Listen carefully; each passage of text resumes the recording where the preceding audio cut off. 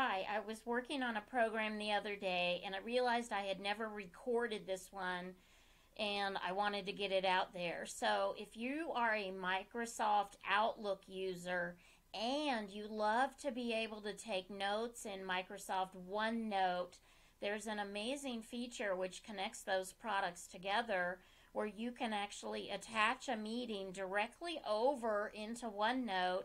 So it's great for taking attendance and recording all the notes that you need to. So um, here I am. I'll do a sample meeting here. And you need to go ahead and invite some attendees. And I'll use uh, a couple of my accounts here. So uh, let's see, we'll do that one.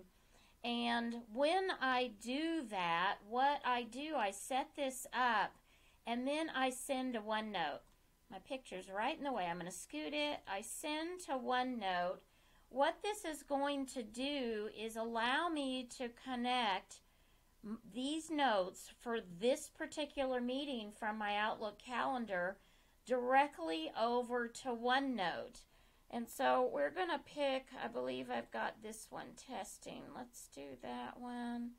Testing, meeting, and I can say OK there. What that's doing, it's going to open up OneNote and connect me directly into that particular note-taking area. See the view share notes? Now that's connected. Let me go over to OneNote. I opened it up and let us refresh this page. There it is, right there. It's on its own new page. So what it did was bring in the meeting information, the date and the time, and then um, the people are listed. So what's nice about this, there, hang on. What's nice about this is that it gives me a little checkbox. I can actually take attendance. So if I then have this say on my tablet and I go into the meeting and I'm taking some notes, I could check, check who attended. And then I can go ahead and uh, this is what we discussed. And I can put whatever notes I need to in there. So this is all getting tied over to my OneNote file. Now jumping back to Outlook, when I go here, the way you can continue jumping back and forth is anytime, let me go ahead and send that meeting.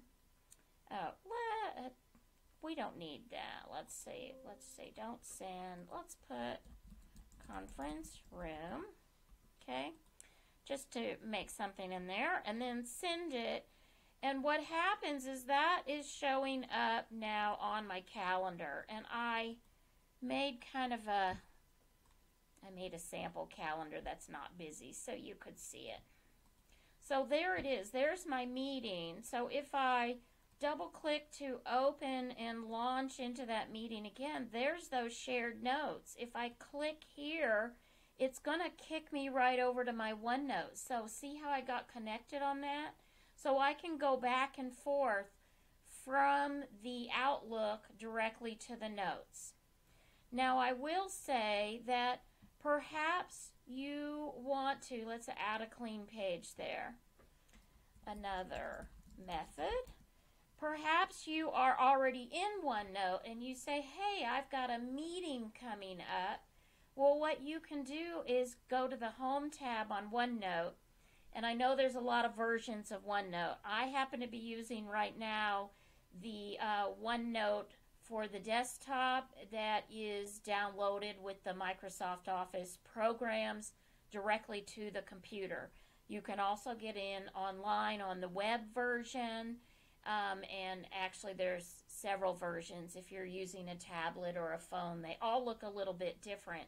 But what I'm looking for is this meeting details, and it will actually pull up a calendar. I can choose different days. I can get in here and go to a different date, and from there I can pick and insert whatever details of whichever meeting that I want to take notes for. So I hope you found this helpful. It's a great way, especially for anyone taking minutes and doing digital note taking. So Microsoft Outlook and Microsoft OneNote, lots of versions floating around. So I hope this helps you and you can look on your version and see what you have access to. Have a great day.